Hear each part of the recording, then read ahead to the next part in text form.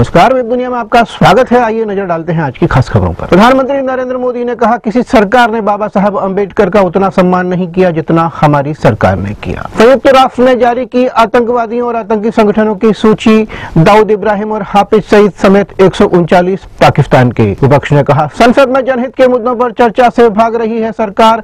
विपक्ष सभी मुद्दों पर चर्चा के लिए तैयार है। कैब की रिपोर्ट में खुलासा, बिहार में चारा घोटाले की तरह दिल्ली में हुआ राशन घोटाला। अमन मणि के खिलाफ शिकायत लेकर योगी के जनता दरबार पहुँचा, फरियादी धक्का देकर बाहर निकाला। वीडियो हटाने से नाराज़ महिला ने यूट्यूब ऑफ़िस में गोलीबारी की, चार लोग घायल, बाद में कर ली खुदकुशी। सीबीएसई पेपर लीक मामले में सुप्रीम कोर्ट ने खारिज की सभी याचिकाएँ। उत्तर प्रदेश में निजी स्कूलों पर योगी सरकार का शिकंजा नहीं बढ़ा सकेंगे मनमानी फ़ीस। चंदा कोचर की मुश्किलें बढ़ी, पति दीपक को आयकर विभाग का नोटिस। झारखंड के लातेहार ज़िले में पुलिस और केंद्रीय रिज़र्व पुलिस बल के साथ माओवादियों की मुठभेड़, पाँच उग्रवादी मार गिराए अमेरिका को चीन का करारा जवाब लगाया 106 उत्पादों पर आयात शुल्क।